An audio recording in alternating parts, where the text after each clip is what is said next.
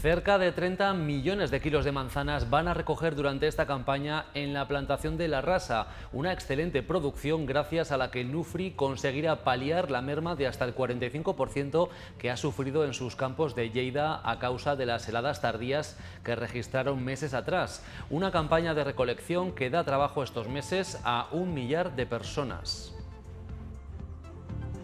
Hemos tenido temperaturas favorables prácticamente eh, toda la primavera, que es la época más sensible para, para, obtener buenas producciones en verano y eso nos ha permitido poder llegar a la deseada plena producción y, a no tener que, que, que, declarar pérdidas debido, debido a los fríos de primavera.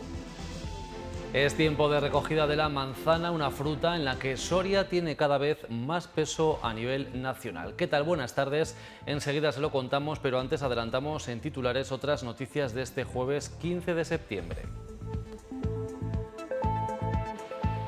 Preocupación en los sindicatos por el ERTE anunciado en Puertas Normas, sobre todo porque, la reciente, porque recientemente ha habido varios despidos y finalizaciones de contratos en la fábrica de San Leonardo.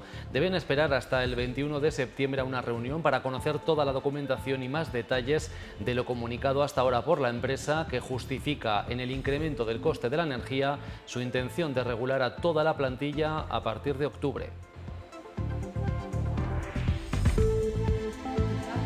La Hermandad de Donantes de Sangre de Soria hace un llamamiento a la población joven para aumentar el número de donaciones. Lo ha hecho durante la presentación de la octava Marcha por la Vida que tendrá lugar el próximo 25 de septiembre en la capital. En deportes se acabaron los ensayos. El sábado el balonmano Soria recibe a la Fuente Pereda en el inicio de la Primera Nacional con el objetivo de luchar por el ascenso a División de Plata. El partido se disputará en Los Pajaritos al acoger en la San Andrés un concierto del otoño musical soriano, el de José Merced.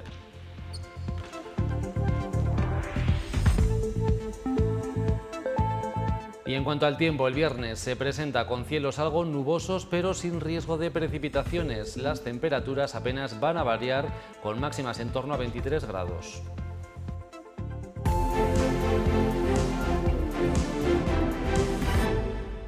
El ERTE que plantea Norma Dors para toda su plantilla en San Leonardo de Yagüe preocupa a los sindicatos. Todavía no se ha oficializado, pero podría suponer una reducción de jornada del 40% durante seis meses a contar desde octubre. El 21 de septiembre se ha convocado una reunión para presentar oficialmente la documentación del expediente de regulación temporal de empleo. Por supuesto que nos preocupa. Máxime cuando hemos visto que las dos últimas semanas ha habido nueve personas entre despedidas y personas que han finalizado los contratos de fin de obra servicio, nueve personas que ya no forman parte de la plantilla. Hemos visto también con anterioridad algún despido, finalizaciones de los contratos temporales, claro, ahora esto hay que añadirle el ERTE. La crisis energética está detrás de esta situación en puertas. Norma, ante un otoño y sobre todo un invierno difícil, la Unión Europea se pone manos a la obra desde ya. Ha anunciado una serie de medidas con el fin de reducir el consumo de energía. Se busca recaudar más de 140.000 millones de euros para que los países los redistribuyan entre los hogares y las empresas más vulnerables.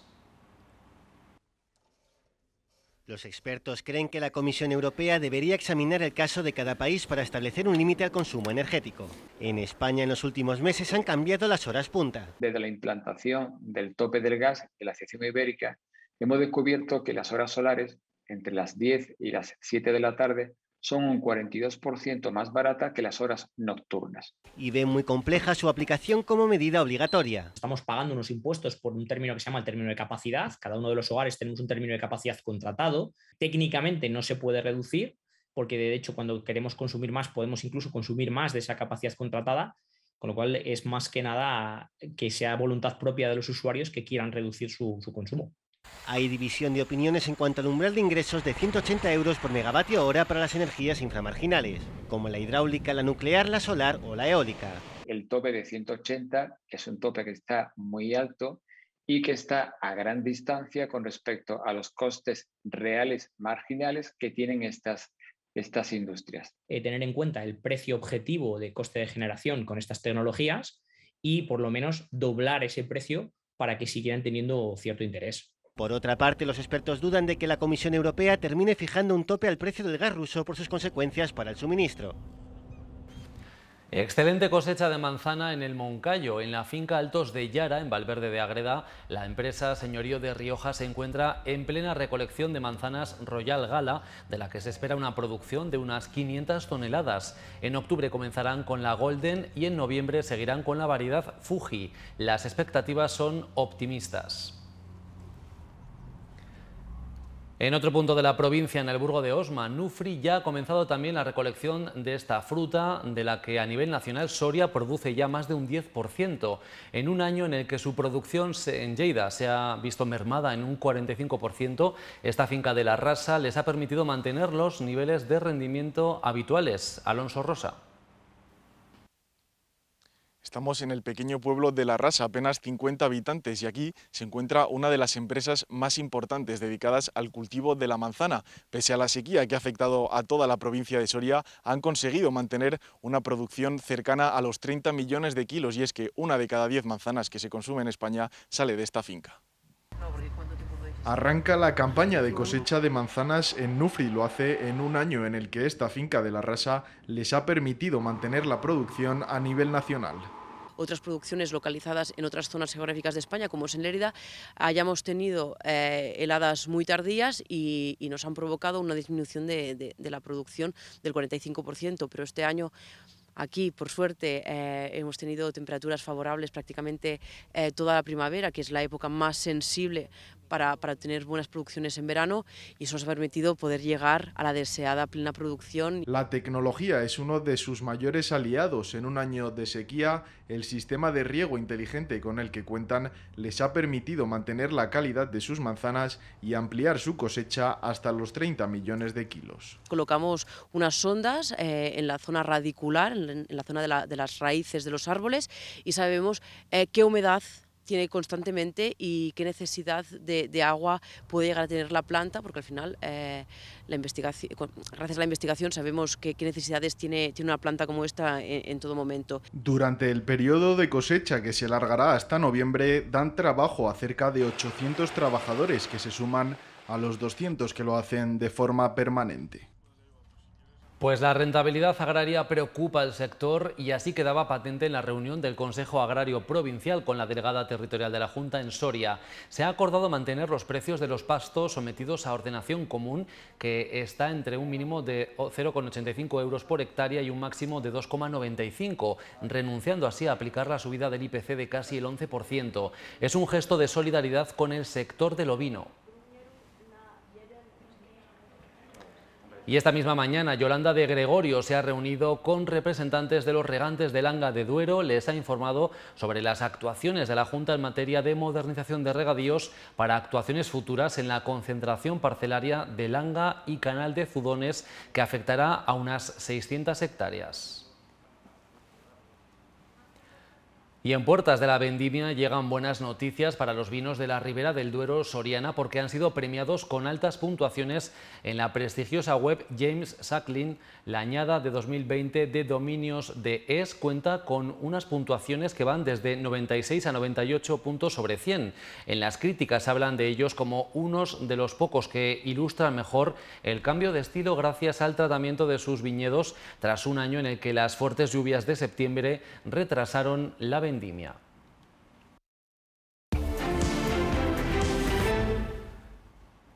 La natalidad en Soria sigue en plena caída y los datos registrados entre enero y julio de este año son casi un 26% más bajos que en la misma época de 2019, el año anterior al COVID.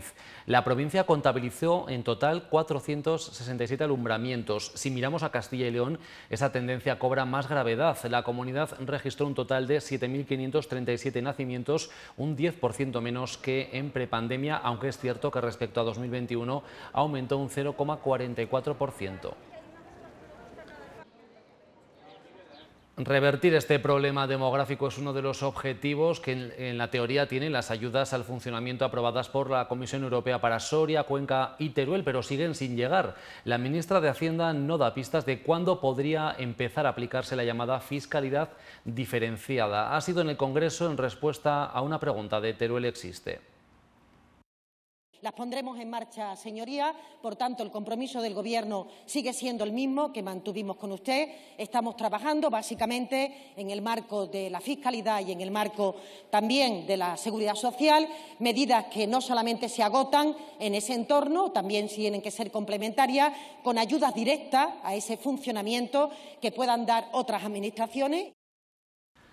El Consejo de Gobierno de la Junta ha aprobado el proyecto de ley de rebajas tributarias en Castilla y León para dinamizar la actividad económica, la inversión y el consumo, así como facilitar la creación de empleo e impulsar la recuperación económica. Permitirá la bajada del primer tramo del IRPF en un 5,3%. Además, se pondrán en marcha medidas fiscales de apoyo a la natalidad, al emprendimiento y a la actividad agraria en el medio rural, bonificaciones en la tasa en materia de transporte por carretera y por la prestación de servicios veterinarios o la supresión del impuesto autonómico sobre la eliminación de residuos en vertederos, entre otras.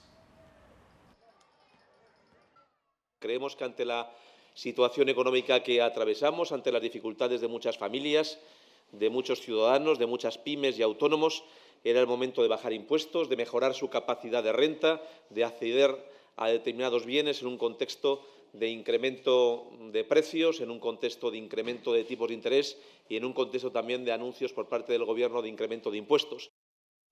La España rural y despoblada es el escenario del proyecto Retrato Nómada que este fin de semana recala en nuestra provincia, en concreto en Yanguas. Los impulsores de este estudio fotográfico itinerante van a retratar la identidad de pequeños pueblos a través de sus habitantes. Buscan captar la singularidad de cada zona, un proyecto que apoya la Diputación de Soria y ha pasado ya por cuatro pueblos de la provincia desde que iniciaran su particular periplo en 2018. Retratar a todos los habitantes del pueblo, a todos los que quieran participar.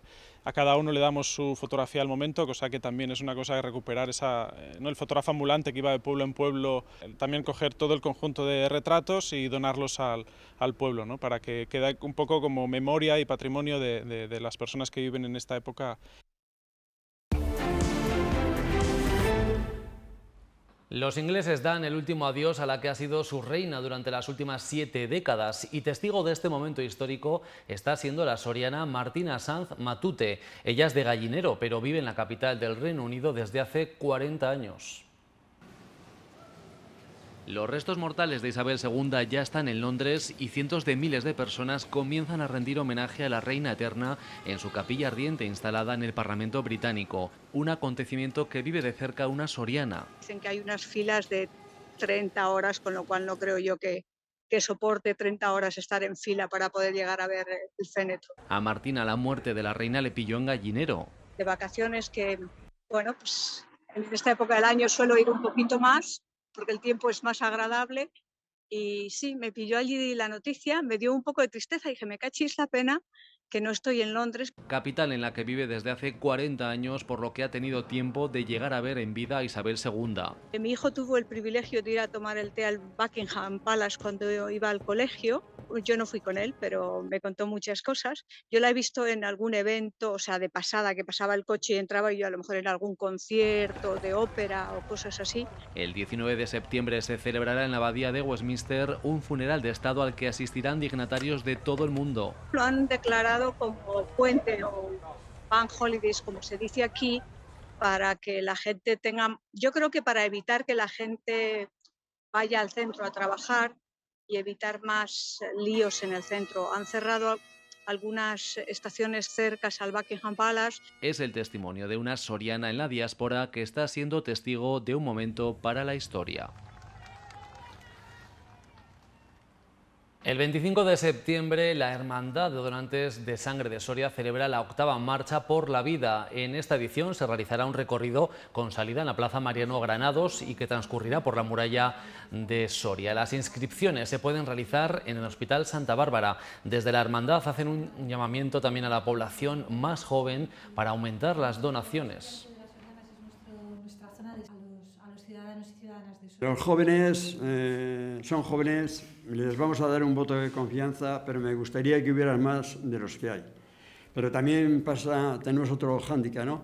que, por ejemplo, cuando tienen 18 años, la mayoría se nos van a estudiar fuera. Que los que vienen a estudiar fuera, aquí a la Universidad de Zagua, también vamos a hacer una donación allí y también gastamos de otras provincias.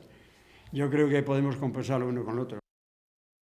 Tras el éxito de los bonos de comercio Burgosma, que disfrutó un 60% de la población, el Ayuntamiento del Burgo de Osma prepara una segunda oleada para aumentar el número de vecinos que se puedan beneficiar de esta ayuda económica. Desde el consistorio aportarán 240.000 euros y plantean aumentar la cuantía de 20 a 24 euros por bono. Por el momento ya se han repartido más de 14.000 bonos por un importe de casi 300.000 euros que han repercutido directamente en el comercio local. Y un apunte más antes de los deportes. La Junta de Castilla y León ha adjudicado la restauración de dos retablos del santuario de la Virgen de Inodejo, ubicado en Las Fraguas, en término de Golmayo. Con una partida económica que supera los 17.000 euros, se realizarán trabajos para recuperar el esplendor de unos retablos que cuentan con una gran degradación y deterioro. Eh, el plazo de ejecución es de dos meses.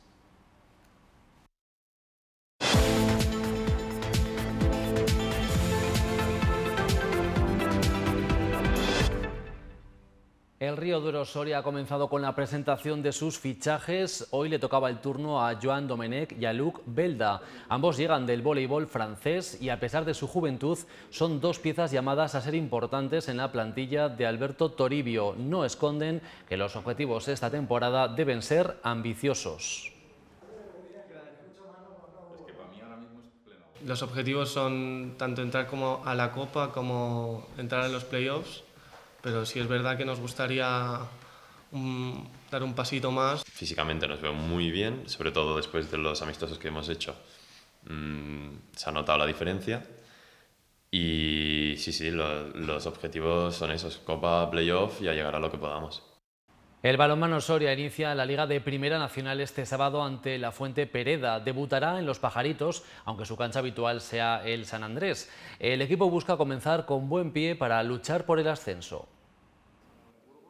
Para empezar la reconquista con la que quieren volver a División de Plata, el balonmano Soria debutará en Los Pajaritos. El otoño musical soriano lleva a los amarillos a otra cancha en la primera jornada de liga. El tema de la presión, pues obviamente el primer partido de liga, lo del cambio de instalación que bueno, no nos favorece. Sí que hay que agradecer pues, que nos hayan dejado dos días poder entrenar en Pajaritos. Hoy, hoy y mañana entrenamos en Pajaritos. Sábado competimos en Pajaritos por lo del concierto aquí en el San Andrés. Adaptación aparte, solo vale la victoria en la visita de la Fuente Pereda. El equipo no esconde que el único objetivo debe ser estar arriba. Yo creo que tampoco hay que obsesionarse con lo que es el objetivo.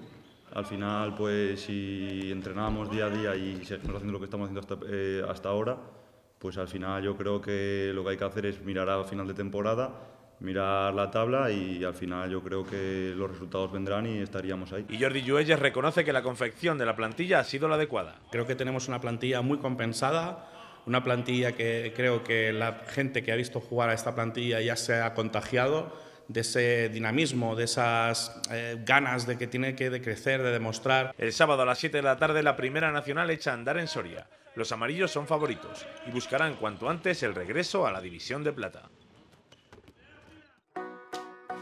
Este curso con Caja Rural de Soria, tus únicos problemas serán los de mates. Compra con tu tarjeta del Club del Socio de Caja Rural de Soria y aplaza los pagos a seis meses sin intereses ni comisiones actívalo con nuestro servicio de compra personalizado. Válido para compras iguales o superiores a 180 euros hasta el 30 de septiembre. Infórmese en su oficina o en la web de cajaruraldesoria.com. Para el fin de semana y parece que se presenta con estabilidad en nuestra provincia, sin lluvias a la vista y con temperaturas frescas. Lo vemos en la previsión del tiempo.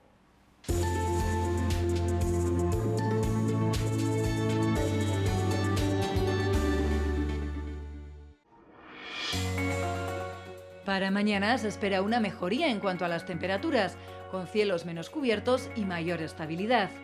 En la zona norte de la provincia las temperaturas rondarán los 21 grados con mínimas de 9 y en Soria capital las máximas llegarán hasta los 23 grados e incluso se alcanzarán los 25 en puntos como Garray. Algo más frías las temperaturas en Montenegro de Cameros y una situación muy similar se vivirá en la zona de Pinares con máximas que oscilarán entre los 22 y los 24 grados, subiendo incluso hasta los 26 en algunos puntos de la ribera del Duero Soriana, como en Calatañazor. Se llegarán hasta los 28 grados en puntos como San Esteban de Gormaz y a los 27 en el Burgo de Osma. Con máximas en torno a los 26 grados también en la zona sur de la provincia, nos encontraremos con mayor nubosidad y mínimas algo más elevadas, en torno a los 11 o los 12 grados. Mañana en Soria Capital se esperan máximas de 23 grados y mínimas de 10, con cielos parcialmente cubiertos durante toda la jornada. Y de cara al fin de semana, aumento generalizado de las temperaturas. Se espera además jornadas más soleadas. Y hoy se retoman los conciertos del otoño musical soriano con la primera cita de la Orquesta Sinfónica de Castilla y León en recuerdo a Oreste Camarca, un ilustre pedagogo italiano afincado en Soria, justo en el año en el que se cumplen 30 años de su fallecimiento. La cita en el auditorio Odón Alonso del Palacio de la Audiencia con la dirección de Isabel Rubio.